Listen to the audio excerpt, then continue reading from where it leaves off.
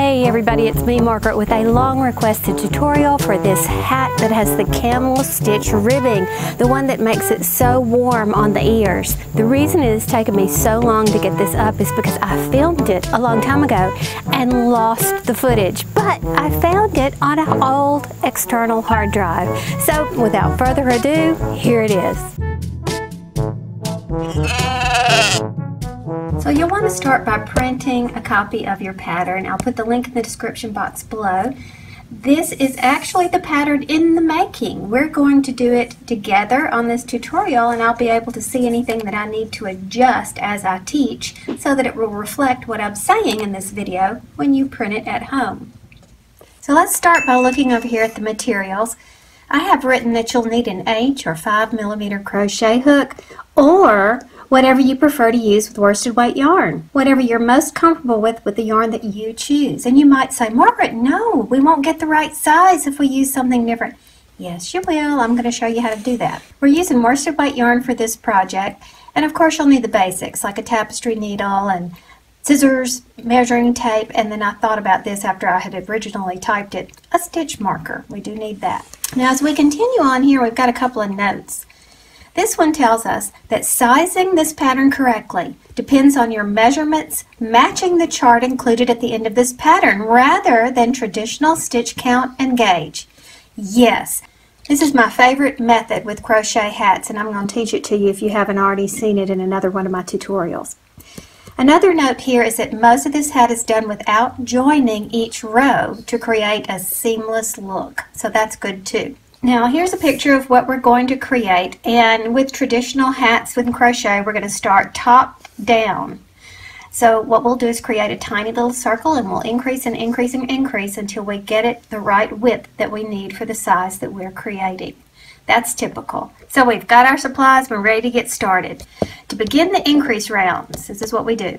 To determine how many increase rounds to do, first decide on the size you want and then refer to the chart at the end of this pattern. And three, measure your flat circle diameter and stop the increase rounds when the desired measurement is reached. Now, if you are not familiar with doing this, let me give you a quick rundown. On the second page of this pattern is a chart.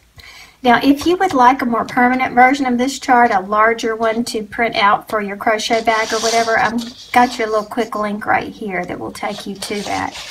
But in the meantime, I've included one in this pattern, so it'll be handy dandy for quick reference. Now here's what we're going to do. Let's decide right off the bat, what size are we making? I am going to make one for a toddler, one to three years old. And as we look at each column, we have information. The head size, 18 to 21 inches. The hat size will be a little bit less than that, so it'll be nice and snug on the little head and it won't blow off in the wind. Then we have a hat height, which is the measurement from crown to ear, which is six and a half inches. And then we'll have what's called the flat circle diameter, 5.5 inches. But we'll cross that bridge when we come to it. Let's get started. You might notice some different colors here. One of my tricks for learning to read a pattern is to do each section a different color. So you see three colors, you've got three things to do in round one. We're going to chain two, we're going to work eight half double crochets in the first chain, and then we'll place a marker in the first half double crochet.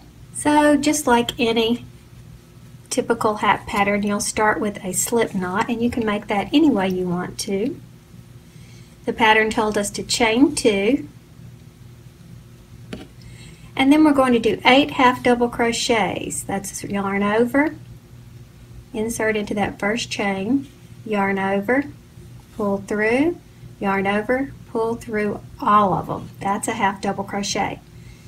And remember that third thing on the first round told us to place a stitch marker in that first stitch. And that's what we did. So there's one. Now let's continue on. Two, three, this is seven, still, look how large my opening has become. you can fix that by just giving it a little tug. And here's eight. The eighth half double crochet. All right, let's double check. One, two, three, four, five, six, seven, eight. All right, we're good to go. Now let's check our directions.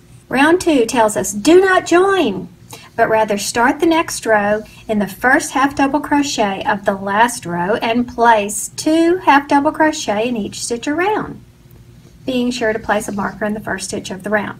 We're going to do that with every round because we're not joining, joining each row.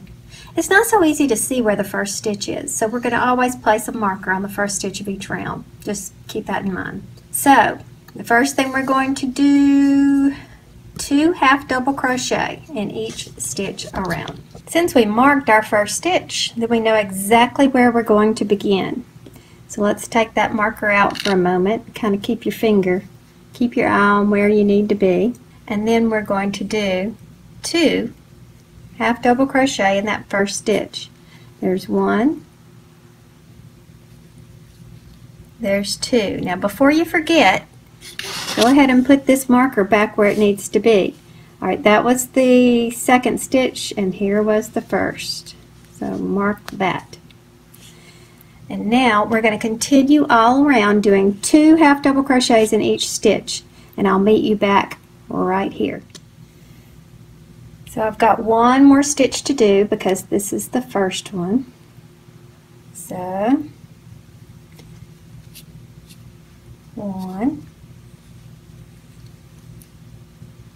two. Okie dokie, let's check the instructions. Okay, the end of round two, we should have 16 stitches, which you can count on your own. If you don't, you go back and you make sure you have two double crochet in every one of those stitches. Easy to fix. Round three, we do one half double crochet in the first stitch, two half double crochet in the next. Repeat until the end of the round, so we'll have 24 when we finish. So we go one half double crochet in the first, two in the second, one in the first, two in the second. So we'll remove this first stitch marker and we'll put one half double crochet in that first stitch and two in the next one. One,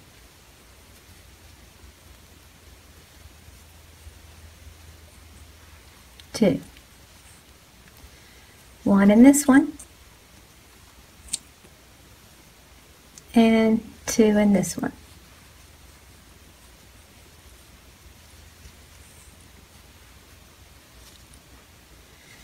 And I'll continue along like that till we get back. Oh, I better mark here. There was two, there was one, there was two, and here is the one. Whoop. So I'll meet you back around. So you can see I just ended this row. Let's see what's next. Round four, we're going to do one half double crochet in the next two stitches and two at the next. So first we went one then two, one then two, one then two, all the way around. Now we're going to do two then two, two then two, two then two, all the way around. And again, I've put the number of stitches in parentheses here so you can count to make sure you haven't missed anything. Easy to fix because you can recognize the pattern. So let's go on with round four, which is one, one, two, and then next stitch. One, one, two, and the next stitch. So I'm removing my marker and I'm doing the pattern. One, one. Better put my marker before I forget. Not this one, but this one and then two in the next. One, two. So I'll continue on with that pattern. One in the next one, one in the next one, and then two in this one. And I'll meet you back around. Coming up on my last stitch right here where I have to put a double. Well that's not the right word. I'm putting two half double crochets in one stitch. There we go. And then here we are at the starting point and then you can count and you should have 32 stitches. Now round 5 we're continuing the same type of pattern. One half double crochet in the next three stitches and two in the next. So we'll go one, one, one, two in the next stitch, one, one, one, two in the next stitch. So everything you learned before, just you just build on it. So there's single, if you want to go ahead and replace that while you're thinking about it. Single, that's the second single. I'm saying the wrong thing. When I say single, I mean it's standing alone. So it's a half double crochet alone in its stitch. So it's got one, one, one by itself, and then we do two together. Half double crochet there with a partner.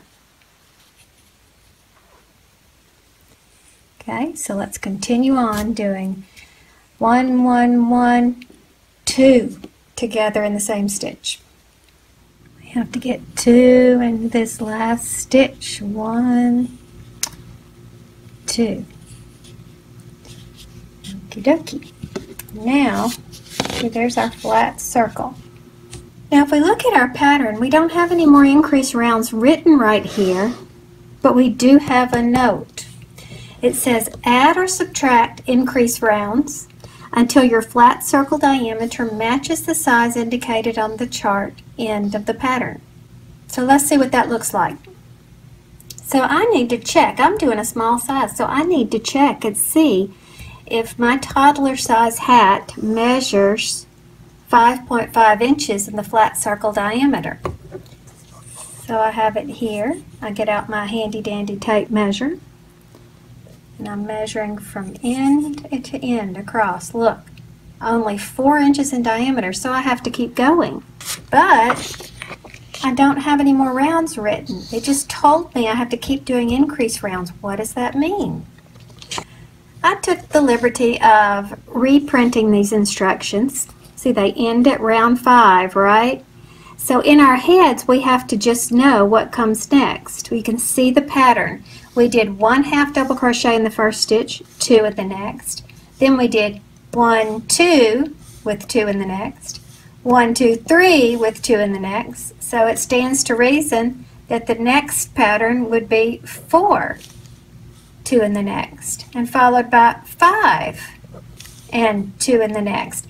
And you would continue doing this increased pattern until your flat circle diameter measures what it needs to measure. Very simple. So now that I understand what's going on, I don't even have to look at the pattern until my flat circle diameter measures what it needs to measure. So there's one stitch of the new row, two,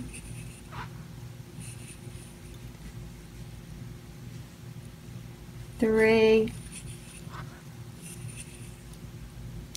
four. And then we put two in the next stitch. One, two. And I'll continue on for that row. And then measure. So I just finished that row where I did four by themselves with two in the middle and I'm measuring and I still have not achieved my five and a half inches so I have to go another round. But I know what to do. I did one two three four with two in the same stitch. This time I'll do five with two in the same stitch. Okay so I finished another row. Let's measure Dun da da! I did it. Okay, so now I'm through with my increases and I can just put one half double crochet in every stitch around. I don't have to increase anymore. But wait, let's think just a minute. What if you're making the same size I am? You finish this row and yours is not five and a half inches. Do you panic? Absolutely not. All it means is that your gauge is different. You could be using a thinner worsted weight yarn than this Vanna's Choice. Uh, Caron Simply Soft, for example, is a much thinner yarn than this, even though it calls itself a number four worsted. Or maybe you're using a G hook, or maybe you just crochet tighter than I do. Doesn't matter. As long as you follow this measurement and keep crocheting, keep doing your increases until you get the proper flat circle diameter measurement, your hat's going to fit just fine. Now looking back at the last thing on the first page of our pattern, it tells us about these non-increase rounds. We're not going to be putting two in any stitches, therefore they're called non-increases. We're going to complete half double crochet rows until the hat measures two to three inches shorter than the desired hat height. My general rule is that this brim right here, I would like it to cover the ears. So consider the ears of the person you're doing it for. And if they have teeny, teeny little ears like on a toddler, then you might want to do just two inches. If they have an adult ear, you might want to do three inches. Or maybe you just flat out like the look of a wider thing. It doesn't matter. Just keep that in mind to stop doing all this part when you are two to three inches or whatever you choose before your the end of your hat. Well, how do you know what that is? Remember your chart. I'm doing for the one, two, three year old, and my hat height should be 6.5 inches. I think I'll just do it three inches for good measure.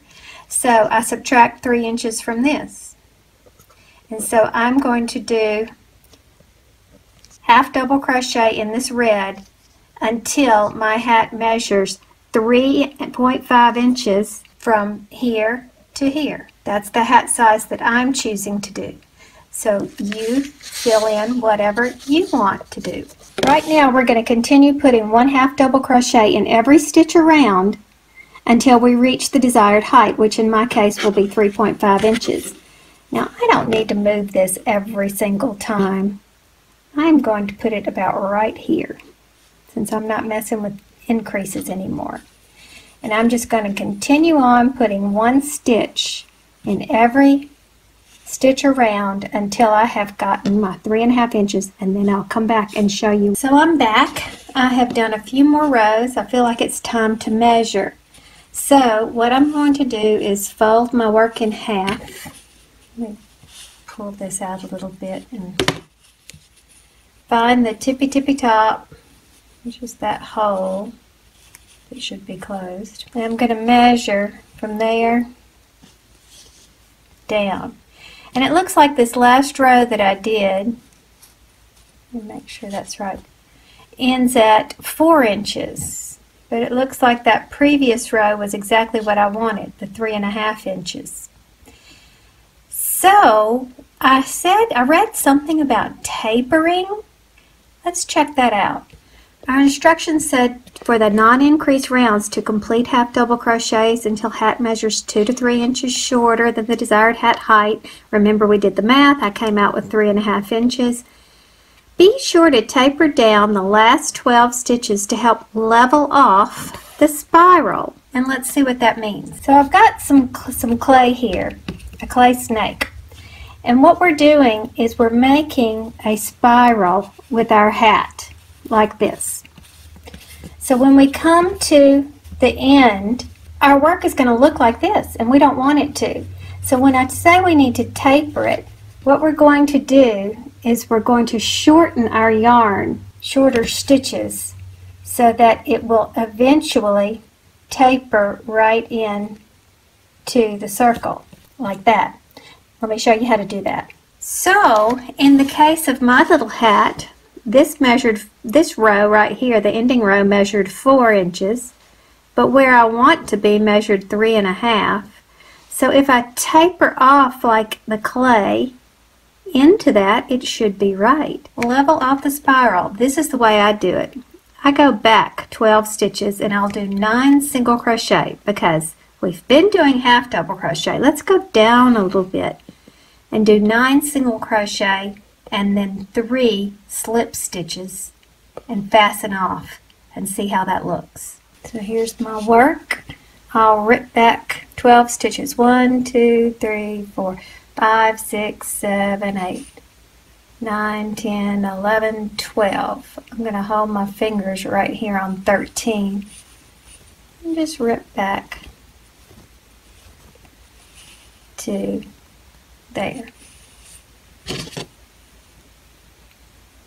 Now, let's do, we've done nothing but half double crochet. So now here we're going to do nine single crochet.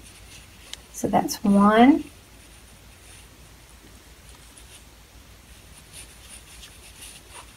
two, three, four, five, six, seven, eight, nine, and three slip stitches. One. Oh wait, that's not right. Two, and then three. All right, let's see how that looks. Ah, you see how it smushed down exactly like the clay? Let's, let me turn it to the right side so we can see. So you see how it, so we smushed the yarn down. We smushed this whole row down to blend into this row right here. All right, so now this measures, or it should measure, three and a half inches as I calculated earlier and it's pretty close. So now I can proceed with the brim. Okay, so the instructions told us that after we did the taper, we need to fasten off because we're not using this color anymore. Now I like to work with my hat inside out. Some people crochet the other way, but I crochet with my the the good part of the hat is going to be on the inside. So I'm going to go ahead and sew in this end. Some people may want to crochet over their tail, but for the purposes of this video, I'm just going to get it out of the way. So I'm just going to secure this end and sew it in. Okay, so now you can't see it. Alrighty. Now while you know that there are endless variations you could do with these color combinations here, I'm going to show you this exact version, the one color here and the ending solid color like this. So, following the instructions for the brim, we're going to attach a new color, chain one, half double crochet in the back loop only of each stitch, and then we're going to join to the top of the first half double crochet. We're going to ignore that chain one. I use my chains, my chain ups as mere fillers. I never connect to the top of my chain. I just ignore them. And usually I do one shorter than what is typically called for. And so that's why this may look unusual to you.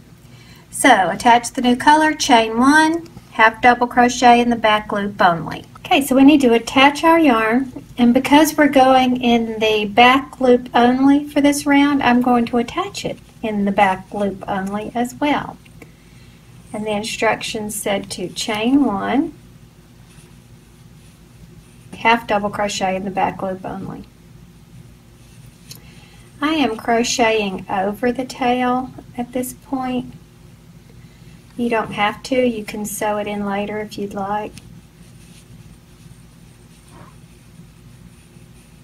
But this is a great technique for those of us who don't get excited about sewing the tails in later. Now I'm coming up on the end of this tail. And something I like to do is to go ahead and pull it tight like you're gathering the hat. That gives you more to hold on to as you're going around.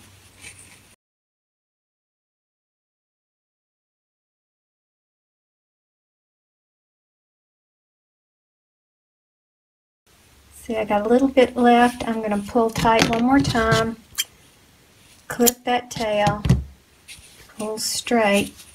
Make sure it's well hidden. Okay. And now I'll continue on, back loop only, half double crochet all the way around. And when you get over here to those slip stitches where when we were tapering down, and they can get kind of tight. So just beware, that's what's going on and they also turn themselves forward. So make sure you pull that up looking for that stitch.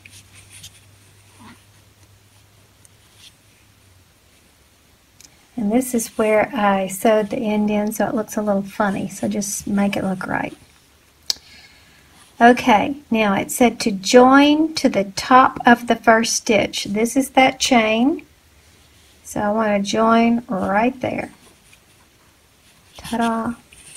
I need to add a little note to the pattern. Let's say you have a bunch of scrap yarn lying around. You wonder if you have enough. Well, I just figured out that for a half double crochet row, you need 10 times the circumference of your hat.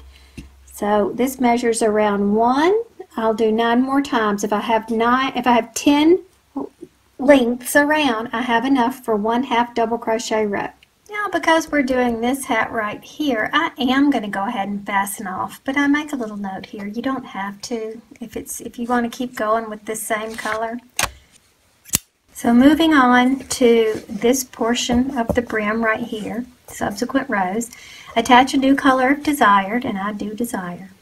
We're going to chain one, and we're going to half double crochet camel stitch in each stitch around, and do not join. We're going to do that same continuous thing so we won't have a seam. We're going to continue until we reach the desired hat height, which in my case was, remember, check your little thing, 6.5 inches. And this is going to look familiar. Be sure to taper down the last 12 stitches to help level off the spiral. Now if you didn't like the way that looked, you can join every row. Ignore this. Do not join. Do join. And that will give you an even edge. I subscribe to the theory of it'll never be noticed on a galloping horse. Those of you who are a stickler for detail, you probably want to join in the back. I will do anything to keep from having a seam in the back, but that's totally up to you. So which loop are you supposed to be picking up? Well, these V's are the top of the stitch. They're the normal places where you stick the crochet under both of those V legs. But in this case, you want to reach around to the back and there'll be another loop all by itself. You want to grab that one. This picture is included in your pattern too. Let's deal with this join at the end. I am going to start where it's nice and clean so you can tell. See, this is where we would normally crochet, like right in there. But if we flip it forward instead, you'll see this little thing right there. And that's the bar that we want. So I'm going to go ahead and attach my color right here. Like that. The instructions said to chain one and then to do camel stitch which is half double crochet in that back loop like that. So there's one. For some reason, this hook is squeaking, and it never squeaks. And I think it was because I put lotion on my hands earlier, but you would think it would be wiping off. All right, now look what's happening. Do you see how this row is forcing this row to be forward like that? See it? And then we did back loop only, so we have this nice little row right here little line that created a border for us. So our camel stitch kind of looks like a row of crochet that is lying on its side. Okay, complete that and then let's get to that messy join and figure out what to do. Well, we're coming around to where the join creates problems and now you understand why I hate to do the joins for this. Alright, so we have to just kind of figure out which bar to choose that's going to give us a similar look. Alright, let's see.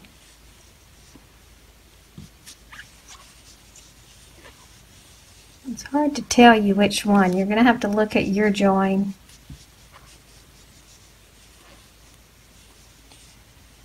There, okay. I brought it around. That looks pretty good, right? Now, my instructions say don't join, keep going. So that's what I'm going to do. Uh, let's see, this is right there. Do you see it? That little tail, that's the chain where we attached. So I'm going to go in right here. And I will have a gap, but I did not crochet over my tail, and I can fix that when I go to sew it in. Oops, I didn't notice I had two loops still on my hook. As it turned out, it didn't make much difference in the end. I didn't even notice the mistake. I'll show you later. So now I'm going to go ahead and continue doing camel stitch all the way around until my hat height reaches 6.5 because that's the size that I chose. I'll meet you back around when I'm finished. Okie dokie, I'm at six and a half again. I'm going to pull back the 12 stitches so that it will blend in. And you know, these measurements are estimates, by the way. 1, 2, 3, 4, 5, 6, 7, 8, 9, 10, 11, 12. Hold my finger at 13 and pull back. I do charity hats, so I'm not trying to fit anyone individually. I don't I don't have any measurements to go by. All right, so I'm doing the taper now. So instead of doing half double crochet camel stitch, I'm going to do single crochet camel stitch, which is the exact same thing. You go into that back bar, but you do a single stitch. Okay, so that's two, three, four, five, six, seven, eight, nine, and then we do the three slip stitches. One, two, three, and fasten off. And don't forget when you go to sew the top end to pull it snugly so it stays closed. And then again, to keep it closed, I like to catch it once and go loop back around the same stitch and then start hiding it. And that makes it stay nice and tight within the stitches. Turn it right side out. And here it is, the finished project. And don't forget that this is a super project for using up scraps of yarn. Choose a neutral color for the main part and that makes the combinations endless. Have fun and thanks for watching.